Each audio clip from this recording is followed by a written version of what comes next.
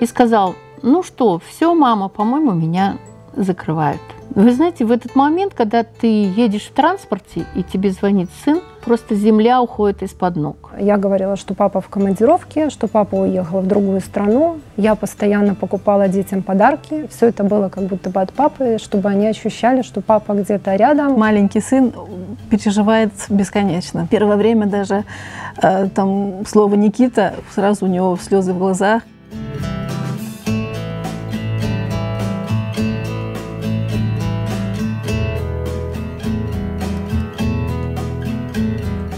У меня двое сыновей, и оба они были в заключении. Илья был за кражи, а Павел, последний раз он был за хулиганство злостное, но это все было связано с кражами. Три с половиной года назад мой сын был осужден по статье 328, часть первая, четвертая. Находится он сейчас в колонии номер два в городе Бобруйске. В заключении был мой муж. Его посадили за э, злоупотребление служебным положением, взятки, организованная преступная группа. Я являюсь руководителем гражданской инициативы «Движение матерей 328». Но здесь с этой инициативой объединились матери, у которых дети были осуждены за наркотики. Одним из таких осужденных являлся и мой ребенок в крытую тюрьму. Он попал в ноябре 2012 года. 13 вот ноября, когда э, он ушел, в общем-то, на учебу, а оттуда уже на допрос, потом мне раздался звонок с телефона адвоката. Звонил сын и сказал, ну что, все, мама, по-моему, меня закрывают. Вы знаете, в этот момент, когда ты едешь в транспорте и тебе звонит сын, просто земля уходит из-под ног. Только слезы больше ничего. Это, это тяжелые переживания, это никому не передать. Был гипертонический криз, срывы, потому что как твой сын находится в тюрьме. Вот суд уже приговор озвучили, 14 лет ему присудили. Первых два дня, когда я об этом узнала, я просто рыдала, я просто не понимала, что происходит, потому что, ну, такого не может быть. У нас нормальная, обычная семья, не асоциальная, как это говорится. И муж военный, у меня педагогическое образование, три сына. Как бы обычные дети, спортсмены, спортом занимались. Вот я говорю сейчас про среднего, который вот в колонии находится. Очень активный парень, добросовестный, отзывчивый. И чтобы сказать, что он там будет связан с наркотиками, это вообще это небо и земля. Потом я поняла, что надо что-то делать, и если я буду рыдать, никто ничего ну, не изменится. Ну, он, в принципе, сам мне про это сказал. Сказал, что, возможно, меня арестуют. Давай ты меня отвезешь на допрос, после которого, возможно, я не вернусь. Но ты не переживай, все, мы разберемся, это какая-то ошибка, и, возможно, через там, дней, там, может быть, трое суток или максимум 10 я буду дома, все будет хорошо. Я его сама отвезла к работе, мы с ним обнялись, попрощались, и, в принципе, больше я его на свободе не видела тот момент было страшно, было жутко, я не понимала, что происходит, почему так происходит. Земля уходила из-под ног, э, в это вообще невозможно было поверить. Первый раз я Пашу помню, когда задержали. Ну, сразу, конечно, растерянность. Может, и плакала, не помню уже. Понимаете, я такой человек, я в экстремальных ситуациях очень э, собранная. И раз мои дети попали в такую ситуацию, значит, я должна делать все возможное.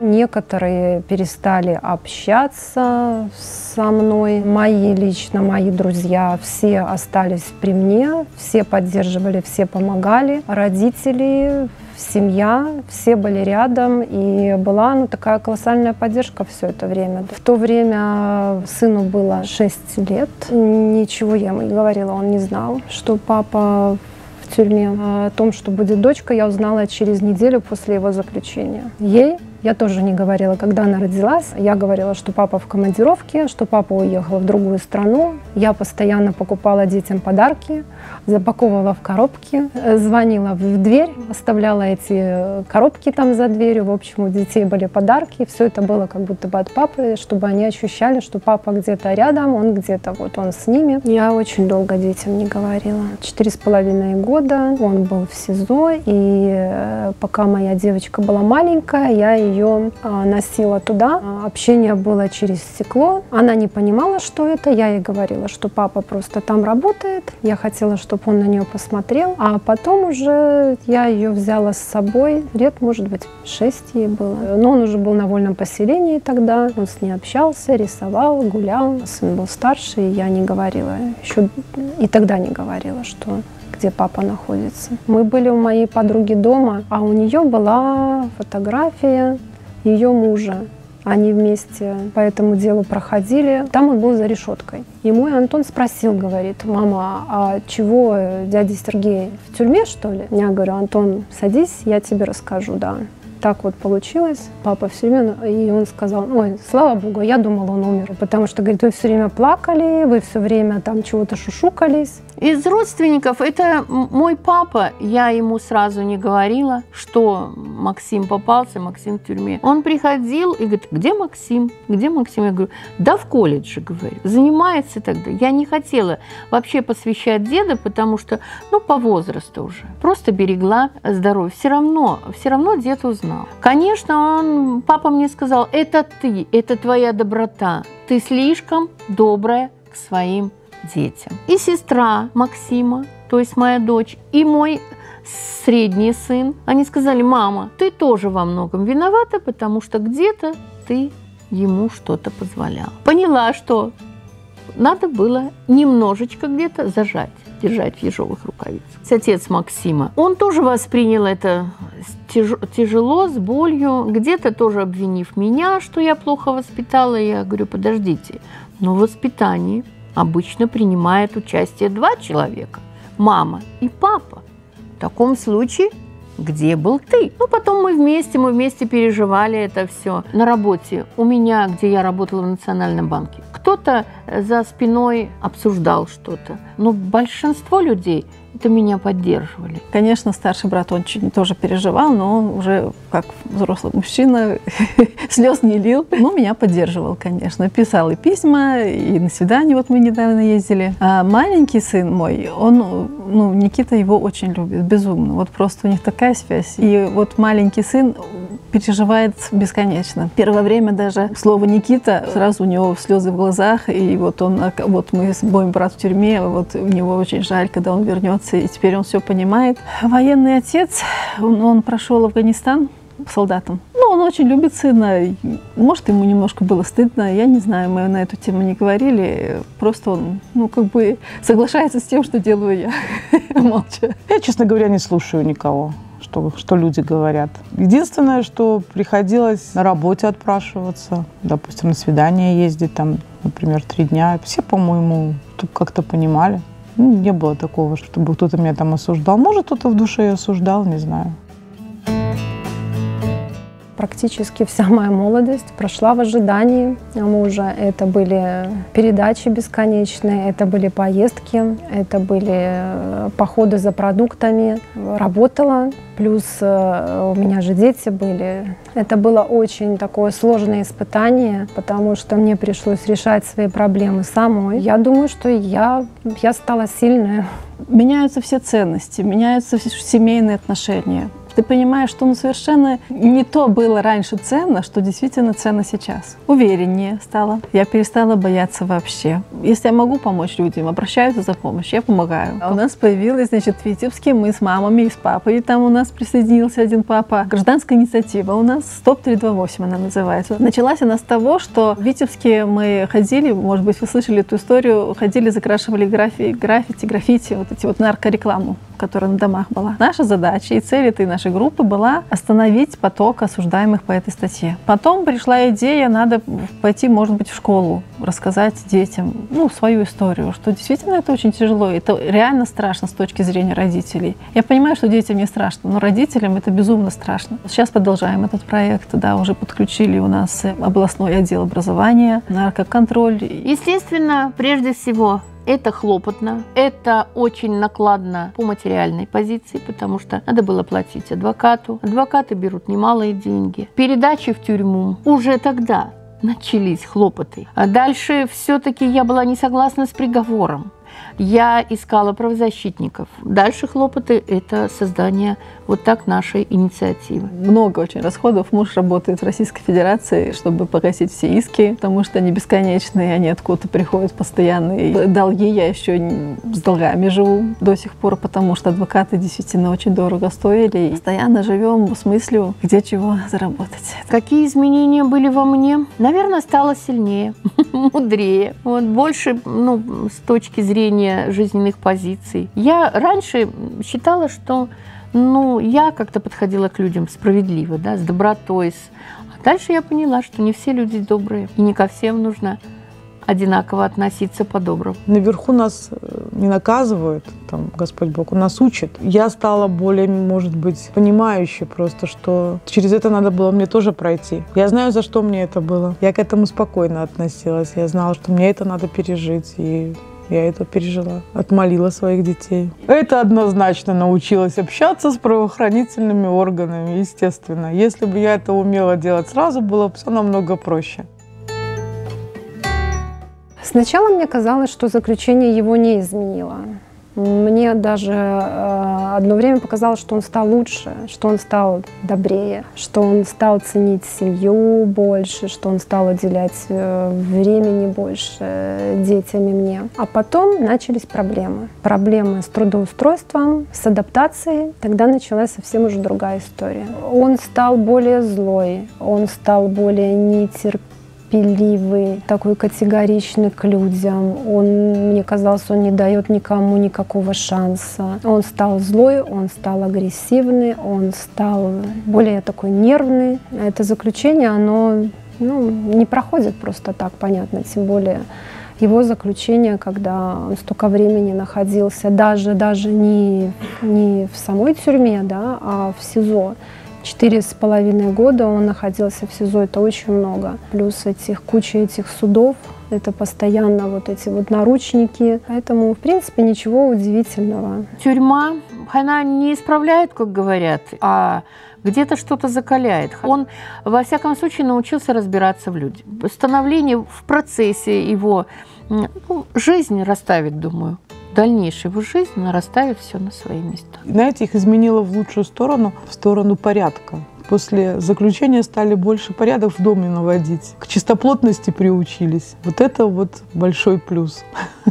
А, ну, жестче нет, жестче не стали. Не так много они там пробыли, чтобы там уже совсем изменилось что-то в их психике или в отношении к жизни. Единственное, что Паше, наверное, помогло быть в центре, в смысле в реабилитационном центре, потому что первые там месяц там очень строго, не пускают никуда там. Ну, то есть из зоны в зону как бы так. То есть ему, наверное, проще было адаптироваться морально. Внутри у него за последнее время появился такой очень твердый стержень, я бы сказала. Если он и раньше еще был такой, что со своим мнением, то теперь он может его совершенно спокойно отстаивать, при этом не навязывая другим. Вот как-то он такой очень мудрый стал. Хоть это и тяжело дается, но мне нравятся изменения. Конечно, самое было самое лучшее, это когда каждые три месяца ты едешь на свидание. Ты понимаешь, что ты раз в три месяца ты можешь увидеть сына. Вот как его 13 ноября забрали в 2012 году, так только на свидание, уже после судов, все, первое свидание у нас было в декабре 2013 года. Потому что так мы были на коротких свиданиях, мы разговаривали через стекло по телефону, трубочка. Вот так вот. Час-полтора часа. А все-таки, когда ты приехал, и когда он пришел, лысый такой, в черном, в черной робе, в телогрейке, в шапке, конечно, обняла и плакала просто на взрыв на вот весь коридор длительных свиданий вот этой гостиницы. Усиленный режим, в, в этом режиме есть три свидания коротких, вот вместе с передачами я езжу в год. И два длительных. Короткие свидания – это как вот в кино по телефону. Через стекло по телефону можно два часа поговорить. Там, конечно, шумно, ничего не слышно, но хоть в глаза глаза можно посмотреть. Есть длительные свидания. Это два раза в год – Ну, по нашей статье дают сутки, не более. Мы уже тогда вместе можем их провести в одной комнате. Там есть специальная гостиница на территории вот колонии. Ну, вроде как общежитие, что-то одна кухня, ванная на всех и такие комнатки. Там можно приготовить домашнюю еду. Привожу ему тогда домашней еды, что-нибудь придумаю, там, драники, клетки, курицу, пельмени. Последний раз, говорит, хочу макаронов нормальных макаронов привези просто. Свидания у нас всегда были по трое суток. Это максимально. Мы приезжали на свидание очень-очень рано. Надо же было занести все вещи. Там такая была комната ожидания большая, где все приходили, приезжали, конечно, по 30, по 50 килограмм. Потому когда приезжаешь, сразу оформляешься. Надо было оплатить гостиницу обязательно. Потом идут эти вещи, все, что мы привезли, это было на досмотр. Колбаса, мясо, там, сыр. Надо было, ну, разрезалось все так, протыкалось, котлетка каждая. Торт я уже просила, если вы режете, то, пожалуйста, нарежьте сразу порционными кусочками мне. Это если конфеты были в непрозрачной упаковке, мы разворачивали все конфеты. Все, что ты везешь, должно было быть в прозрачных упаковках. Кофе тоже высыпалось, чай тоже в пакетиках, он тоже высыпался, все. Потому что, понимаете, ну, умудрялись пронести. Потом уже вот, представьте, когда проверили все, проверили нас, чемоданы, сумки, уже потихонечку шли уже на зону. Это было такое ожидание, это было такое счастье. Вот уже там остается 200 метров там до встречи с сыном, там 100 метров до встречи с сыном. Тяжелее расставаться, конечно. И это так всегда. Где бы я ни была, в гостях ли, или у сына, или у кого-то. Встречаться, да, это здорово. Но когда расстаешься, ну просто так сразу, сразу очень грустно становится. Как по закону положено, так и навещала, ни разу не пропустила. Они сидели у меня на общем режиме, поэтому раз в три месяца, и передачи раз в три месяца. Илья, когда сидел в СИЗО на малолетке, там передачи можно приносить хоть каждый день. Приезжаешь, главное, покормить домашней едой, там блинчиков сделать, еще что-нибудь, картошечки поджарить. Потом к Паше мы ездили с Ильей вместе, когда он последний раз вот сидел, Илья уже давно был э, на свободе, давно там в трезвости. Они там больше с ним общались, честно говоря. Им, наверное, интереснее с братом было пообщаться, чем с мамой. Я навещала его постоянно, насколько это было возможно. Там были свидания, трое суток, наверное, возможно было находиться. И, в принципе, я использовала все все возможности, которые мне предоставляло государство в этом плане. Все передачи, все свидания, все как бы мы использовали любой шанс, чтобы видеться. Но эти встречи всегда, всегда ждали, и он ждал, и я ждала, потому что ну, для него это было единственное, наверное, светлое пятно а там, потому что это была такая связь с домом, с семьей. Это было единственное, чего он ждал, о чем он мне писал. Это было очень печально, это было сложно, потому что, ну, реально адаптация была тяжелая. Он не мог найти работу, он э, ходил устраивался куда-то, и из-за того, что он судимый, его никуда не брали. На низкооплачиваемой работе работал. Ну, тогда работала я, и, в принципе, я всегда его поддерживала и говорила, не переживай, у нас же есть за что жить, я же работаю, и как бы все хорошо. Бытовых проблем у него не было, он совсем очень быстро разобрался с телефонами, с интернетами, в принципе, он мне еще что-то показывал, меня чему-то учил, говорил, как ты тут, я вот был где, а ты где и почему вот ты это не знаешь. То есть он всему быстро научился, все, что он пропустил, он все очень быстро освоил. Становление так быстро, адаптация не проходит. У каждого по-разному. Конечно, ну, это надо было помочь, как же самому. Естественно, как-то мое внимание, мое присутствие, а, где-то вместе мы хлопочем по дому. Я говорю, сынок, порядки будешь наводить ты сейчас. На это отвлекался, потому что что-то перебирал там. Это все все-таки рассеивало внимание на чем-то другом сосредоточено, там на своем этом заключении. Все-таки сестра приходила, приходил муж сестры, племянники приходили. Это все очень-очень способствует.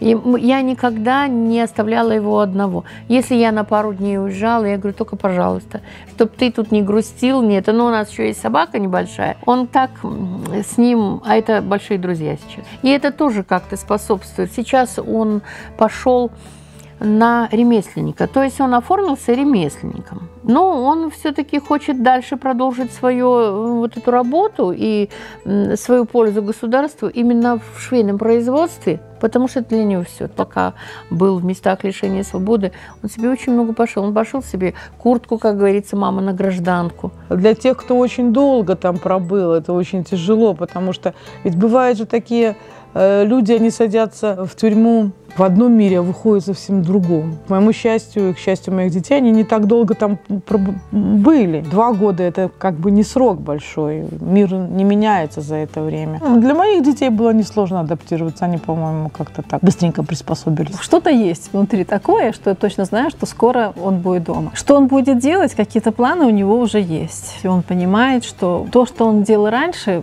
ну вот как-то так, деньги ради денег там, или вот просто пойти там работать неинтересно. Пока не знаю точных планов, но что-то он уже там себе придумал. Он уже отучился сварщика, он получил сварщика профессию, он учится теперь на швейника, так что он очень даже будет полезен обществу.